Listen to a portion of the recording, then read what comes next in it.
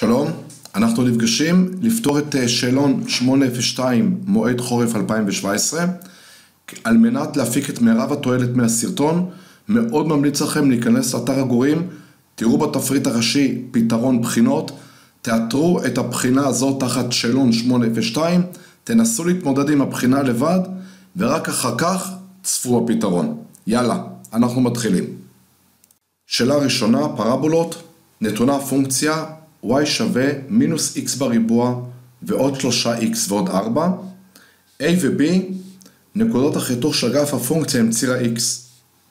c נקודת החיתוך של הפונקציה עם גרף עם ציר ה-y.